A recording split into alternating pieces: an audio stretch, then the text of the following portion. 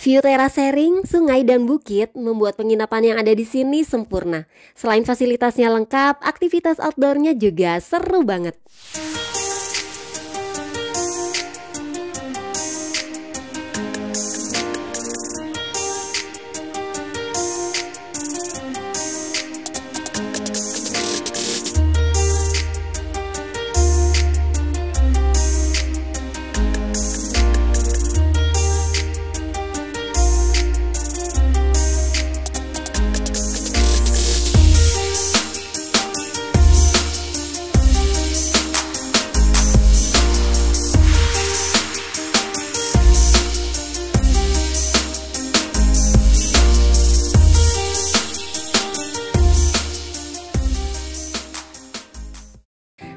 Assalamualaikum. Balik lagi bareng aku Nita di Ayo Going Channel. Apa kabar semuanya? Semoga sehat-sehat selalu ya. Masih edisi staycation liburan lebaran kemarin. Kali ini aku balik lagi ke tempat yang sebelumnya udah pernah aku review.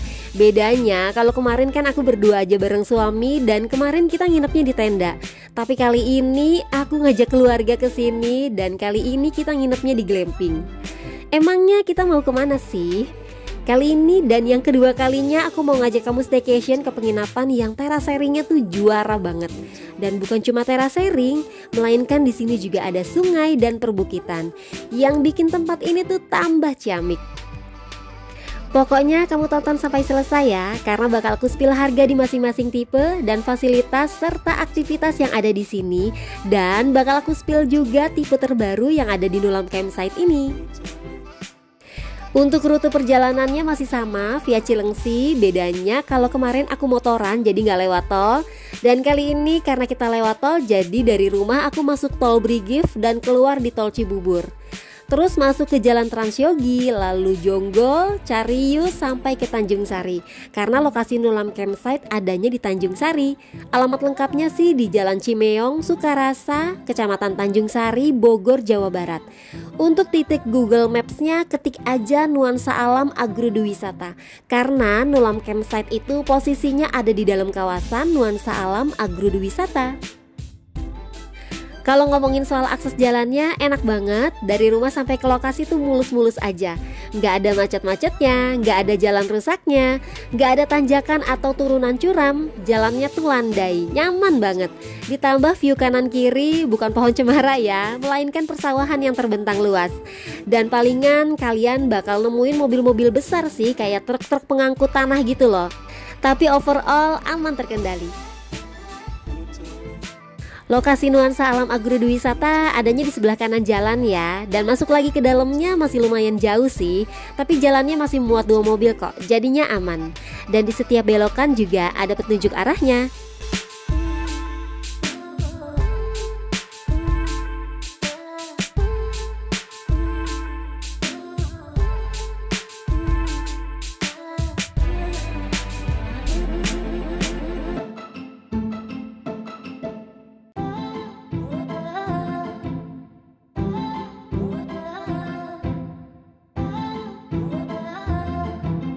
Langsung aja, ini kita udah sampai parkirannya. Di sini parkiran mobilnya luas banget, dan di sebelah kiri pintu masuk ada parkiran untuk motornya.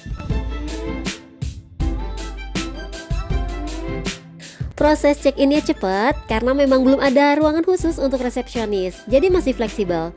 Cukup nemuin adminnya aja dan kasih lihat bukti jadwal booking kita. Sebelum kita ke glamping, aku mau review dulu di bagian depan sini ya. Tepat di bagian depan terdapat food corner. Jadi di sini ada semacam tenda besar yang di dalamnya tuh terdapat beanbag dan meja lesehan. Terus di area outdoornya juga terdapat banyak kursi dan meja bulat yang terbuat dari kayu.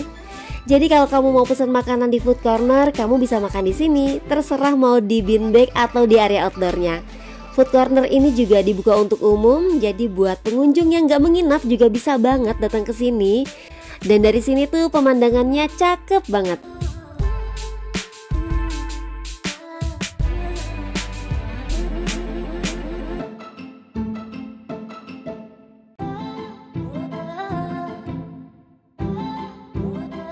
Agak naik ke sebelah kiri sedikit, di sini terdapat musola. Bangunannya terbuat dari kayu, musolanya nyaman, adem, Tersedia alat sholat seperti mukena, sarung, dan sajadah. Kelar di area food corner dan musola, sekarang langsung aja kita ke glamping. Untuk area campgroundnya kita reviewnya di esok paginya ya. Jadi di sini ada tiga tenda, namanya glamping 1, 2, dan 3. Untuk glamping 1 dan 2 posisinya ada di depan dan glamping 3 posisinya ada di belakang. Untuk glamping 3 ini yang ada di belakang, posisinya emang gak langsung kelihatan pemandangan, tapi fasilitas dalam tendanya sama kok. Dan bedanya lagi, di glamping 3 ini nggak tersedia hammock dan batap adanya kursi santai aja. Harganya juga beda kok, lebih murah dari kedua glamping yang ada di depan, yaitu 700 ribu di weekend dan diskon 10% untuk weekday-nya. Nah sekarang aku udah ada di glamping satu, langsung aja kita review ya. Pas masuk ke sebelah kiri langsung ada kamar mandi. Di sini ada wastafel dan cermin, lalu ada kloset duduk, shower dengan water heater. Tapi jujur kemarin kita nggak pakai water heaternya karena mandi pakai air dingin lebih seger deh di sini tuh. Lanjut lagi ke ruang selanjutnya. Ini beneran deh, tendanya tuh besar banget, makanya muat sampai maksimal 8 orang. Fasilitasnya juga lengkap. Di sini ada kasur ukuran queen size beserta dua bantal, dua guling dan selimut. Selimutnya juga lebar dan tebal. Selain besar, tendanya juga terdapat banyak jendela, jadi bisa dibuka ataupun ditutup. Di sebelah tempat tidur ada komplimen seperti dua botol air mineral, kopi, gelas, dan teko pemanas air. Lalu terdapat smart TV dan alat untuk karaoke.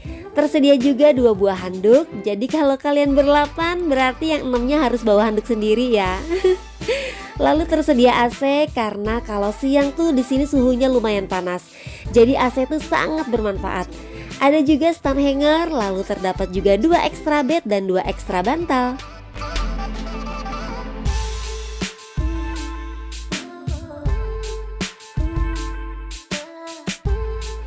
Lanjut lagi ke ruang yang kedua, di sini terdapat empat kursi lipat beserta meja, lalu ada kompor portable dan nesting. Terus di sebelahnya ada kursi panjang lipat beserta bantal kursinya juga. Dan di area balkon terdapat hammock dan batap, lalu ada kursi santai. Dan yang paling kece dari tenda ini adalah di area balkonnya sih Karena pemandangannya langsung ke teras sharing dan sungai Dan kayaknya area balkon ini tuh jadi area terfavorit ya buat tamu yang nginep di sini. Info harga untuk glamping 1 dan 2 ini adalah Rp850.000 di weekend dan potongan diskon 10% untuk weekday-nya. Nah ini dia penampakan glamping 1 dan 2 dari depan. Semuanya sama ya Jadi aku nggak perlu lagi review fasilitas dan isi tenda untuk glamping 2 nya Karena semuanya sama, pemandangannya juga sama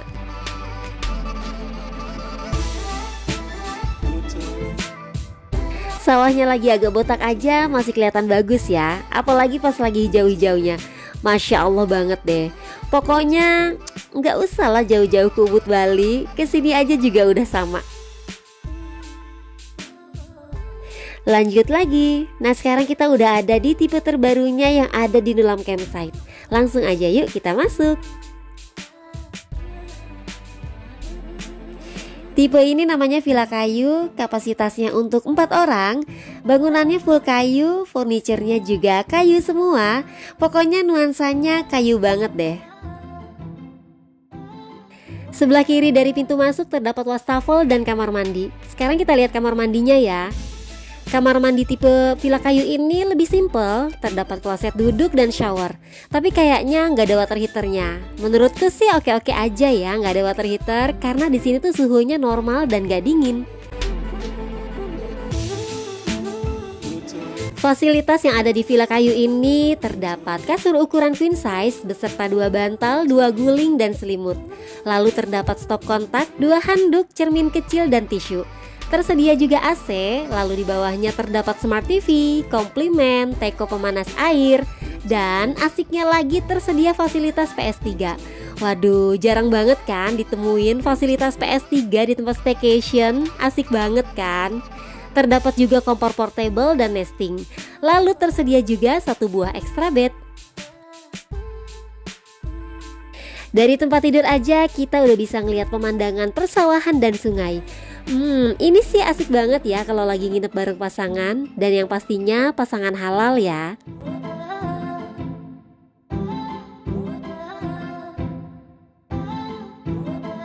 Cus, sekarang kita lihat balkonnya. Wow, Masya Allah Ini sih kalau sawahnya lagi hijau nggak usah ditanya deh bagusnya gimana Hmm, masa iya aku harus datang yang ketiga kalinya ya kan? Di sini selain terasering yang ada di depan persis, ada sungai juga. Jadi kalau dari villa kayu ini tuh view terasering dan sungainya lebih deket dari balkon. Di balkon sini juga terdapat fasilitas batap dan kursi santai serta meja tepian gitu. Jadi kamu bisa tuh sambil berendam-berendam cantik sambil mandangin terasering dan sungai. Mudah-mudahan deh ya pas kamu lagi ke sini sawahnya tuh lagi bagus. Karena percaya deh, cakepnya tuh pakai banget. Karena waktu aku ke sini yang pertama kemarin sawahnya lagi bagus. Jadi aku tahu dan bisa jamin gimana bagusnya terasering yang ada di sini. Info harga untuk villa kayu ini karena baru banget publik jadi masih harga promo yaitu 600 ribu di weekend dan diskon 10% di weekday-nya. Sore-sore kira-kira sekitaran jam 4 kita mau etivian menuju Curug. Tadinya sih aku rada khawatir sama anak-anak kecil ini Karena jalurnya tuh menurutku rada ekstrim. Tapi karena anak-anaknya pingin dan berani ya udah deh.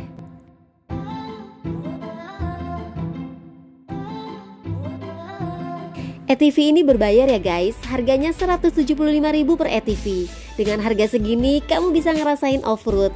Jalurnya tuh seru banget, karena kita bakal ngelewatin sawah, lumpur, masuk hutan, jalannya terjal, dan pas nyampe curug, kamu juga bisa mandi di curugnya, karena curugnya tuh dangkal, jadi aman buat mandi.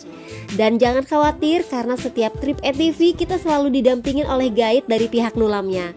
Guide-nya tuh expert deh, ada Zikar dan Pitung. Pokoknya kalau kalian ke sini rugi banget kalau nggak nyobain ATV-nya. Dan buat kalian yang mau ATV-an tanpa menginap juga bisa banget. Tapi jangan lupa bawa baju gantinya juga ya. Kelar etivian, gak usah takut bajunya penuh lumpur Karena kita bisa langsung nyebur ke sungai buat bersihin kotorannya Tambah seru kan?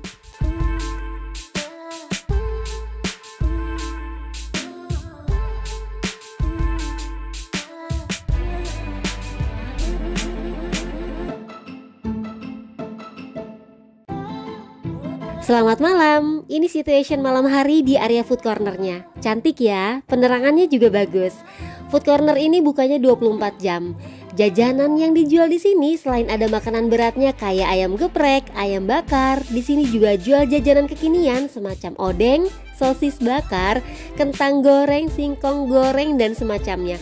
Pokoknya cocok banget deh buat sambil ngobrol.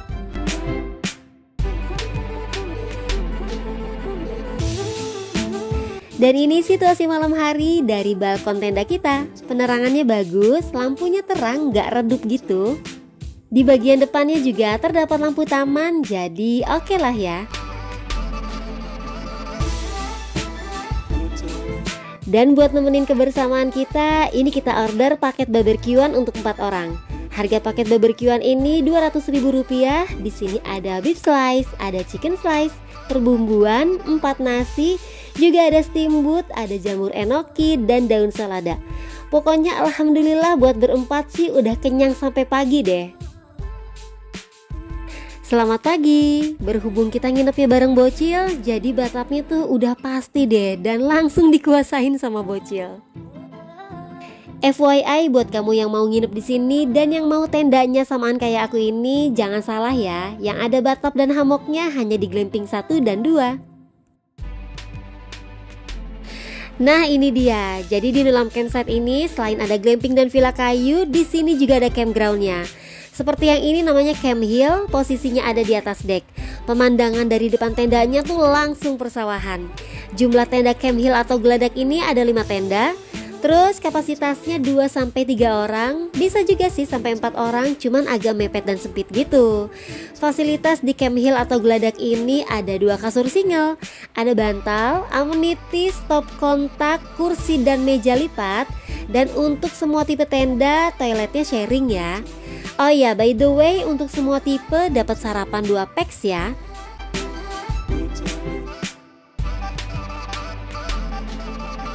Untuk tipe tenda Camp Hill ini harganya 350.000 di weekend dan diskon 10% untuk weekday.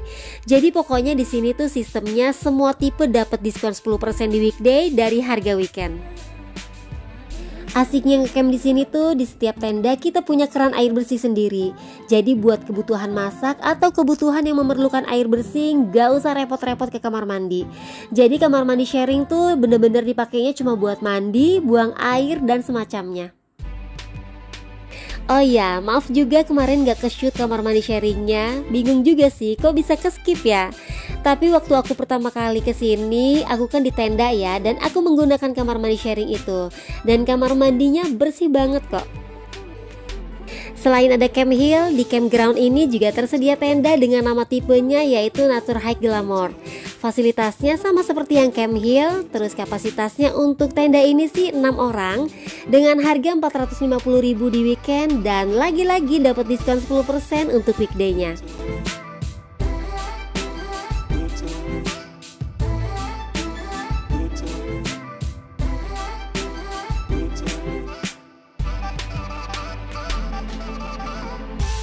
Dan satu lagi di Nulam Campsite ini terdapat juga mini zoo. Untuk binatangnya di sini ada rusa, ada landak dan iguana. Cuma segitu aja sih binatangnya, tapi cukup bikin anak-anak seneng kok. Oke deh, aku rasa cukup ya berbagi pengalaman kita selama nginep di Nulam Campsite. Kalau kamu mau ngerasain keseruan kayak kita juga, bisa langsung di booking sekarang dan ini nomor kontaknya. Mudah-mudahan informasi yang aku sampaikan ini bermanfaat dan bisa jadi referensi buat ngisi weekend kamu. Terima kasih ya yang udah nonton videonya sampai akhir. Jangan lupa di like, subscribe, dan komentarnya ya.